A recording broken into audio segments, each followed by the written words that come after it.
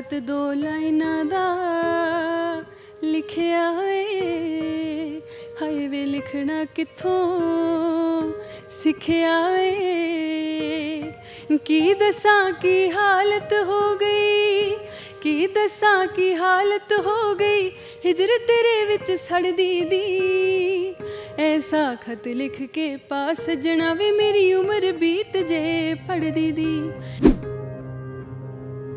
Film 'ਚ ਐਸਾ ਕੁਝ ਵੀ ਨਹੀਂ ਹੈਗਾ ਕਿ ਉਹਨੂੰ ਆਬਜੈਕਟ ਕੀਤਾ ਜਾਵੇ। ਕੋਈ ਐਸਾ ਸੀਨ ਨਹੀਂ ਹੈ, ਕੋਈ ਐਸਾ ਕਿਰਦਾਰ ਨਹੀਂ ਹੈ ਕੁਝ ਵੀ ਨਹੀਂ ਐਸਾ ਫਿਲਮ ਜਿਹਦੇ ਤੇ ਆਬਜੈਕਸ਼ਨ ਕੀਤੀ ਜਾਵੇ। ਬਟ ਹੁਣ ਪਤਾ ਨਹੀਂ, ਬਹੁਤ ਕੁਝ ਹੋ ਸਕਦਾ, ਹੈ ਹੋ ਸਕਦਾ ਕੋਈ ਸਾਜ਼ਿਸ਼ ਹੋਵੇ। ਮੈਨੂੰ ਇੱਕੋ ਗੱਲ ਹੀ ਕੋਈ ਗੱਲ ਸੁਣ, ਮੇਰੀ ਛੋਟੀ ਭੈਣ ਆ ਤੂੰ, ਆਪਾਂ ਆਰਾਮ ਨਾਲ ਮਜ਼ੇ ਨਾਲ ਕੰਮ ਕਰਨਾ ਹੈ ਟੈਨਸ਼ਨ ਨਹੀਂ ਲੈਣੀ। ਪਾਪਾ ਹੁੰਦੇ ਤਾਂ ਕਹਿੰਦੇ ਕਿ ਕੋਈ ਨਹੀਂ ਪੁੱਤਰ ਇੰਡੀਆ 'ਚ ਨਹੀਂ ਹੋ ਰਹੀ, ਬਾਹਰ ਰਿਲੀਜ਼ ਹੋ ਰਹੀ ਹੈ। ਉੱਥੋਂ ਦੇਖਣ ਨੂੰ ਮਿਲੇਗੀ, ਉੱਥੋਂ ਰਿਵਿਊਜ਼ ਆ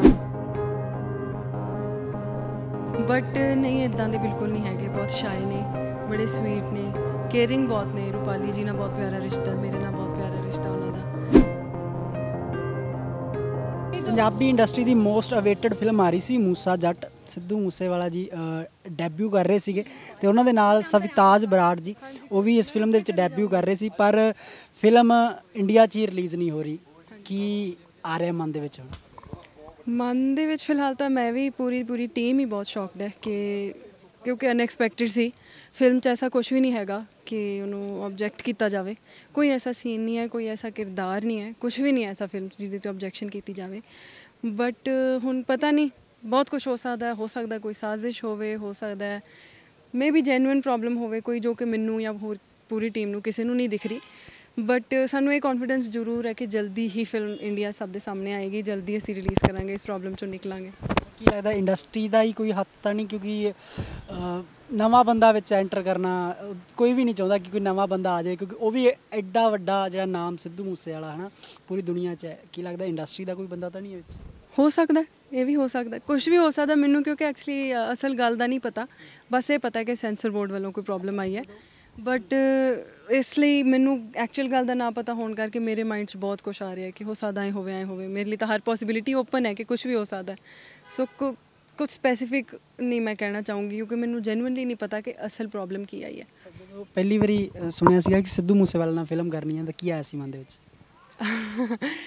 ਮਾਈਂਡ 'ਚ ਫਿਲਹਾਲ ਤਾਂ ਪਹਿਲੀ ਪਹਿਲਾਂ ਤਾਂ ਇਹੀ ਆਇਆ ਸੀਗਾ ਕਿ ਬਹੁਤ ਵੱਡਾ ਨਾਮ ਹੈ ਔਰ obviously let's face it peak ਤੇ ਨੇ ਇਸ ਟਾਈਮ ਸਿੱਧੂ ਜੀ। ਤੇ ਮੈਨੂੰ ਇਦਾਂ ਲੱਗ ਰਿਹਾ ਸੀ ਕਿ ਪਤਾ ਨਹੀਂ ਮੈਂ ਉਹਨਾਂ ਸਾਹਮਣੇ ਪਰਫਾਰਮ ਕਰ ਪਾਉਂਗੀ ਕਿ ਨਹੀਂ, ਆਪਣੇ ਆਪ ਨੂੰ ਥੋੜਾ ਘੱਟ ਨਾ ਫੀਲ ਕਰਾਂ। ਬਟ ਜਦੋਂ ਸੈੱਟ ਤੇ ਪਹੁੰਚੀ ਤਾਂ ਉਹਨਾਂ ਨੇ ਬਹੁਤ ਕੰਫਰਟੇਬਲ ਫੀਲ ਕਰਾਇਆ। ਮੈਨੂੰ ਇੱਕੋ ਗੱਲ, ਇੱਕ ਹੀ ਗੱਲ ਸੁਣ, ਮੇਰੀ ਛੋਟੀ ਭੈਣ ਆ ਤੂੰ, ਆਪਾਂ ਆਰਾਮ ਨਾਲ ਮਜ਼ੇ ਨਾਲ ਕੰਮ ਕਰਨਾ ਹੈ ਟੈਨਸ਼ਨ ਨਹੀਂ ਲੈਣੀ। ਓਕੇ ਉਸ ਤੋਂ ਬਾਅਦ ਮੈਂ ਉਹਨਾਂ ਨਾਲ ਕੰਫਰਟੇਬਲ ਹੋ ਗਈ ਸੀ, ਬਹੁਤ ਆਰਾਮ ਨਾਲ ਕੰਮ ਕਰਵਾਇਆ। ਅੱਜ- ਅੱਜ ਪਾਪਾ ਨੂੰ ਕਿੰਨਾ ਕੁ ਮਿਸ ਕਰ ਰਹੇ ਹੋ? ਜੇ ਪਾਪਾ ਹੁੰਦੇ ਤਾਂ ਕੀ ਕਹਿੰਦੇ? ਕੀ ਗੱਲਾਂ ਹੁੰਦੀਆਂ ਉਹਨਾਂ ਨਾਲ? ਪਾਪਾ ਹੁੰਦੇ ਤਾਂ ਕਹਿੰਦੇ ਕਿ ਕੋਈ ਨਹੀਂ ਪੁੱਤਰ ਇੰਡੀਆ 'ਚ ਨਹੀਂ ਹੋ ਰਹੀ, ਬਾਹਰ ਰਿਲੀਜ਼ ਹੋ ਰਹੀ ਹੈ। ਉੱਥੋਂ ਦੇਖਣ ਨੂੰ ਮਿਲੇਗੀ, ਉੱਥੋਂ ਰਿਵਿਊਜ਼ ਆਣਗੇ ਤੂੰ ਚਿੰਤਾ ਹੋ ਸਕਦਾ ਟਿਕਟ ਕਰਾ ਕੇ ਕਿਤੇ ਲੈ ਜਾਂਦੇ ਮੈਨੂੰ ਕਿ ਆਪਾਂ ਦੇਖ ਕੇ ਆਵਾਂਗੇ, ਜ਼ਰੂਰ ਦੇਖ ਕੇ ਆਵਾਂਗੇ। ਸੋ ਮਿਸ ਤਾਂ ਕਰ ਰਹੀ ਹਾਂ। ਮੇਰਾ ਕੋਈ ਵੀ ਪ੍ਰੋਜੈਕਟ ਰਿਲੀਜ਼ ਹੁੰਦਾ, ਮੇਰੇ ਮਾਈਂਡ ਸਭ ਤੋਂ ਪਹਿਲਾਂ ਇਹ ਹੁੰਦਾ ਕਿ ਕਾਸ਼ ਪਾਪਾ ਹੁੰਦੇ। ਦੇਖਦੇ, ਮੈਨੂੰ ਦੱਸਦੇ, ਕਮੀਆਂ, ਖੂਬੀਆਂ ਸਭ ਦੱਸਦੇ। ਬਟ ਮੈਨੂੰ ਪਤਾ ਉਹ ਦੇਖ ਰਹੇ ਨੇ। ਮੈਨੂੰ ਫੀਲ ਵੀ ਹੋ ਜਾਂਦਾ ਜਦੋਂ ਕੁਝ ਪਸੰਦ ਆਉਂਦਾ ਉਹਨਾਂ ਨੂੰ ਜਾਂ ਕਿਸੇ ਗੱਲ ਤੋਂ ਨਿਰਾਸ਼ ਹੁੰਦੇ ਨੇ। ਐਜ਼ ਅ ਸਿੰਗਰ ਦੇਖਦੇ ਹੋ ਆਪਣੇ ਆਪ ਨੂੰ ਕਿ ਐਜ਼ ਅ ਐਕਟਰੈਸ ਦੇਖਦੇ ਹੋ? ਮੈਂ ਸ਼ੁਰੂਆਤ ਐਜ਼ ਅ ਸਿੰਗਰ ਕੀਤੀ ਆ ਕਿਉਂਕਿ ਪਾਪਾ ਨੇ ਵੀ ਐਜ਼ ਅ ਸਿੰਗਰ ਹੀ ਕੀਤੀ ਸੀ। ਬਟ ਇੰਡਸਟਰੀਜ਼ ਮੈਂ ਦੋਨੋਂ ਐਕਸਪਲੋਰ ਕਰਨਾ ਚਾਹੁੰਦੀ ਆ ਸਿੰਗਿੰਗ ਵੀ ਐਕਟਿੰਗ ਵੀ। ਮੰਮਾ ਦੇ ਨਾਲ ਕਿਦਾਂ ਦੀ ਬੌਂਡਿੰਗ ਆ? ਅੱਜ ਹੋਈ ਆ ਉਹਨਾਂ ਦੇ ਨਾਲ ਗੱਲਬਾਤ ਜਦੋਂ ਪਤਾ ਲੱਗਾ ਕਿ ਫਿਲਮ ਨਹੀਂ ਰਿਲੀਜ਼ ਹੋਈ ਕੀ ਕਿਹਾ ਉਹਨਾਂ ਨੇ? ਇੱਕ ਵਾਰ ਤਾਂ ਮੰਮਾ ਵੀ ਬਹੁਤ ਹਾਰਟ ਬ੍ਰੋਕਨ ਹੋ ਗਏ ਸੀ। ਅਸੀਂ ਦੋਨੋਂ ਹੀ ਇੱਕ ਵਾਰੀ ਤਾਂ ਅੱਖਾਂ ਭਰ ਆਏ ਸੀ। ਬਟ ਉਸ ਤੋਂ ਬਾਅਦ ਦੋਨਾਂ ਨੇ ਇੱਕ ਦੂਜੇ ਨੂੰ ਸੰਭਾਲਿਆ, ਇਹ ਇੱਕ ਦੂਜੇ ਨੂੰ ਦਿਲਾਸਾ ਦੇ ਕੇ ਕਿ ਨਹੀਂ, ਬਾਹਰ ਰਿਲੀਜ਼ ਹੋ ਰਹੀ ਹੈ। ਓਵਰਸੀਜ਼ ਤੋਂ ਰਿਸਪੌਂਸ ਮਿਲੇਗਾ। ਓਵਰਸੀਜ਼ ਦੀ ਆਡੀਅנס ਜੁੜੇਗੀ ਫਾਲੋਅਰਸ ਜੁੜਨਗੇ। ਤੇ ਅਸੀਂ ਤਿੰਨੋਂ ਹੀ ਸੀਗੇ ਘਰੇ। ਮੇਰਾ ਬ੍ਰਦਰ ਸੀ, ਮੰਮਾ ਸੀਗੇ ਐਂਡ ਕੁਝ ਫਰੈਂਡਸ ਆਈਆਂ ਹੋਈਆਂ ਸੀ। ਸੋ ਬਸ ਇੱਕ ਦੂਜੇ ਨੂੰ ਸੰਭਾਲ ਲਿਆ। ਸਿੱਧੂ ਮੂਸੇਵਾਲੇ ਬਾਰੇ ਕਿਹਾ ਜਾਂਦਾ ਕਿ ਉਹ ਲੋਕ ਕਹਿੰਦੇ ਆ ਜਿਹੜੇ ਉਹਨਾਂ ਬਾਰੇ ਬੋਲਦੇ ਆ ਕ੍ਰਿਟੀਕਲ ਜਿਹੜੇ ਉਹਨਾਂ ਨੂੰ ਕਲੇਮ ਕਰਦੇ ਆ ਕਿ ਬੜਾ ਸਖਤ ਬੰਦਾ ਯਾਰ, ਉਹ ਤਾਂ ਵਾਇਲੈਂਟ ਦੇ ਗਾਣੇ ਗਾਉਂਦਾ ਹੈ। ਪਤਾ ਨਹੀਂ ਤੁਸੀਂ ਤਾਂ ਫੇਸ ਟੂ ਫੇਸ ਕੰਮ ਕਰਿਆ ਤੁਹਾਡੇ ਕੋਲ ਆਰਟਿਸਟ ਕਿਦਾਂ ਦਾ ਸੀਗਾ ਉਹਨਾਂ ਨਾਲ ਐਕਸਪੀਰੀਅੰਸ ਸੱਚਮੁੱਚ ਇਦਾਂ ਦੇ ਨੇ? ਉਹਨਾਂ ਦੇ ਗਾਣਿਆਂ ਤੋਂ ਇਦਾਂ ਹੀ ਲੱਗਦਾ ਕਿਉਂਕਿ ਆਡੀਅנס ਉਹਨਾਂ ਦੇ ਗਾਣਿਆਂ ਨੂੰ ਪਸੰਦ ਹੀ ਇਦਾਂ ਦੇ ਕਰਦੀ ਆ ਕਿ ਵਾਇਲੈਂਟ ਹੋਣਗੇ ਰੂਡ ਹੋਣਗੇ ਮੂਡੀ ਹੋਣਗੇ।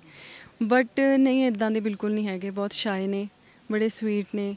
ਕੇਅਰਿੰਗ ਬਹੁਤ ਨੇ ਰੂਪਾਲੀ ਜੀ ਨਾਲ ਬਹੁਤ ਪਿਆਰਾ ਰਿਸ਼ਤਾ ਹੈ ਮੇਰੇ ਨਾਲ ਬਹੁਤ ਪਿਆਰਾ ਰਿਸ਼ਤਾ ਉਹਨਾਂ ਦਾ। ਤੇ ਸਾਡਾ ਤਿੰਨਾਂ ਦਾ ਹੀ ਆਪਸ 'ਚ ਬੌਂਡ ਬਹੁਤ ਖਾਸ ਬਣ ਗਿਆ ਸੀਗਾ ਸੈੱਟ ਤੇ। ਉਹਨਾਂ ਨੂੰ ਮਾਤਾ ਜੀ ਕਹਿੰਦੇ ਨੇ ਰੂਪਾਲੀ ਜੀ ਨੂੰ ਮੈਨੂੰ ਕਹਿੰਦੇ ਨੇ ਤੂੰ ਮੇਰੀ ਛੋਟੀ ਭੈਣ ਆ।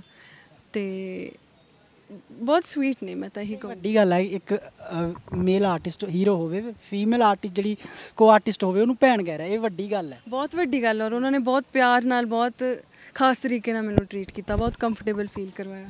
ਕਿੰਨੀ ਕੁ ਤਿਆਰੀ ਕੀਤੀ ਸੀ ਫਿਲਮ ਦੇ ਲਈ? ਤਿਆਰੀ ਤਾਂ ਐਕਚੁਅਲੀ ਮੈਨੂੰ ਤਾਂ ਅਚਾਨਕ ਹੀ ਜਦੋਂ ਮੈਨੂੰ ਆਫਰ ਆਈ ਆ, ਉਦੋਂ ਮੈਨੂੰ ਲੱਗਦਾ 20 25 ਦਿਨਾਂ 'ਚ ਸ਼ੂਟ ਸ਼ੁਰੂ ਹੋ ਜਾਣਾ ਸੀ। ਤੇ ਮੈਂ ਯੂ ਐ ਯੂਕੇ ਤੋਂ ਵਾਪਸ ਆਈ ਸੀਗੀ ਇੱਕ ਫਿਲਮ ਦੀ ਸ਼ੂਟਿੰਗ ਵਿੱਚ ਛੱਡ ਕੇ, ਕੋਈ ਪ੍ਰੋਬਲਮ ਹੋ ਗਈ ਸੀ। ਉਦੋਂ ਤਾਂ ਮੈਂ ਬਹੁਤ ਅਪਸੈਟ ਹੋ ਕੇ ਆਈ ਸੀ ਕਿ ਵੀ ਇਦਾਂ ਛੱਡ ਕੇ ਆਉਣੀ ਪੈਗੀ ਸ਼ੂਟ ਬਟ ਵਾਪਸ ਆਈ ਤੇ ਮੈਨੂੰ ਫੋਨ ਆਇਆ ਮੂਸਾ ਜੱਟ ਵਾਸਤੇ, ਤਾਂ ਮੈਨੂੰ ਇਹ ਬਹੁਤ ਬਹੁਤ ਵਧੀਆ ਫੀਲ ਹੋਇਆ ਕਿ ਬੈਟਰ ਓਪਰਚ्युनिटी ਮੇਰਾ ਵੇਟ ਕਰ ਰਹੀ ਸੀ, ਸ਼ਾਇਦ ਤਾਂ ਮੈਨੂੰ ਵਾਪਸ ਆਉਣਾ ਪੈ ਗਿਆ। ਸੋ ਇੱਕ ਵਾਰ ਤਾਂ ਬਹੁਤ, ਪੰਜਾਬੀ 'ਚ ਫੇਵਰਿਟ ਕੌਣ ਹੈ? ਜਿਹੜਾ ਐਕਟਰ ਅਮਰਿੰਦਰ ਗਿੱਲ ਜੀ। ਬਾਲੀਵੁੱਡ 'ਚ? ਰਿਤਿਕ ਰੋਸ਼ਨ ਜੀ। ਸਾਰਿਆਂ ਦੇ ਫੇਵਰਿਟ ਨੇ। ਅੱਛਾ ਜਾਂਦੇ ਹੋਏ ਗਾਣਾ ਸੁਣਾਓ ਪਾਪਾ ਆਪਦੇ ਦਾ। ਪਾਪਾ ਦਾ। ਖਤ ਦੋ ਲਾਈਨਾਂ ਦਾ ਲਿਖਿਆ ਏ। ਹਾਏ ਵੇ ਲਿਖਣਾ ਕਿੱਥੋਂ? ਸਿੱਖਿਆ ਏ।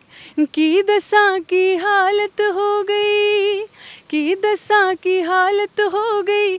ਹਿਜਰ ਤੇਰੇ ਵਿੱਚ ਸੜਦੀ ਦੀ ਐਸਾ ਖਤ ਲਿਖ ਕੇ ਪਾ ਸਜਣਾ ਵੇ ਮੇਰੀ ਉਮਰ ਬੀਤ ਜੇ ਪੜਦੀ ਦੀ ਐਸਾ ਖਤ ਲਿਖ ਕੇ ਪਾ ਸਜਣਾ ਵੇ ਮੇਰੀ ਉਮਰ ਬੀਤ ਜੇ ਪੜਦੀ ਦੀ ਜਾਂਦੇ ਹੋਏ ਦਰਸ਼ਕਾਂ ਨੂੰ ਆਦੇ ਫੈਨਸ ਨੂੰ ਕੀ ਕਹਿਣਾ ਚਾਹੁੰਦੇ? ਫੈਨਸ ਨੂੰ ਇਹੀ ਕਹਿਣਾ ਚਾਹੂੰਗੀ ਕਿ ਜਦੋਂ ਰਾਹ ਪੁੱਛਦਾ ਗਾਣਾ ਆਇਆ ਸੀ ਮੇਰਾ ਪਹਿਲਾ ਗੀਤ ਪਹਿਲੇ ਆਰਟਿਸਟ ਦੇ ਤੌਰ ਤੇ ਪਹਿਲੇ ਗਾਣੇ ਦੇ ਤੌਰ ਤੇ ਬਹੁਤ ਪਿਆਰ ਮਿਲਿਆ ਬਹੁਤ ਸਪੋਰਟ ਮਿਲੀ। ਔਰ ਹੁਣ ਤੱਕ ਉਦਾਂ ਹੀ ਸਪੋਰਟ ਕਰਦੇ ਆ ਰਹੇ ਹੋ। ਫਿਲਮ 'ਚ ਕੁਝ ਪ੍ਰੋਬਲਮ ਹੋ ਗਈ ਆ। ਤੇ ਸਾਨੂੰ ਵੀ ਪੇਸ਼ੈਂਟ ਰਹਿਣਾ ਪੈ ਰਿਹਾ ਪਲੀਜ਼ ਤੁਸੀਂ ਵੀ ਪੇਸ਼ੈਂਟ ਰਹੋ। ਜਦੋਂ ਫਿਲਮ ਸਾਹਮਣੇ ਆਏਗੀ, ਮੈਨੂੰ ਪੂਰੀ ਉਮੀਦ ਹੈ, ਤੁਹਾਨੂੰ ਬਹੁਤ ਪਸੰਦ ਆਏਗੀ। ਬਸ ਇਦਾਂ ਹੀ ਸਪੋਰਟ ਕਰਦੇ ਰਹੋ। ਥੈਂਕ ਯੂ ਇਹ ਸੀ ਸਵਤਾਜ ਬਰਾੜ ਜੀ, ਜਿਨ੍ਹਾਂ ਦੀ ਫਿਲਮ ਆ ਰਹੀ ਸੀ ਮੂਸਾ ਜੱਟ। ਬਸ ਕਿਸੇ ਕਾਰਨ ਕਰਕੇ ਰੁਕ ਗਈ ਹੈ। ਸਿੱਧੂ ਮੂਸੇ ਵਾਲਿਆਂ ਨੂੰ ਅਸੀਂ ਵੱਡੀ ਸਕਰੀਨ ਦੇ ਐਜ਼ ਅ ਹੀਰੋ ਦੇਖਣਾ ਚਾਹੁੰਦੇ ਆ ਤੇ ਉਹਨਾਂ ਨੇ ਕਿਹਾ ਵੀ ਹੋ ਸਕਦਾ ਛੇਤੀ ਆ ਜੇ ਸਾਰਿਆਂ ਨੂੰ ਹੀ ਉਡੀਕ ਹੈ।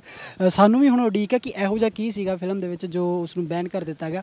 ਬਾਕੀ ਹੋਰ ਅਪਡੇਟਸ ਦੇ ਲਈ ਤੁਸੀਂ ਜੁੜੇ ਰਹੋ ਜਿੰਦਾਬਾਦ ਚੈਨਲ ਦੇ ਨਾਲ। ਮੈਂ ਮਨਪ੍ਰੀਤ ਔਲਖ, ਕੈਮਰਾਮੈਨ ਦੀਪ ਬਾਜਵਾ ਦੇ ਨਾਲ। ਨਾਲ ਚੰਡੀਗੜ੍ਹ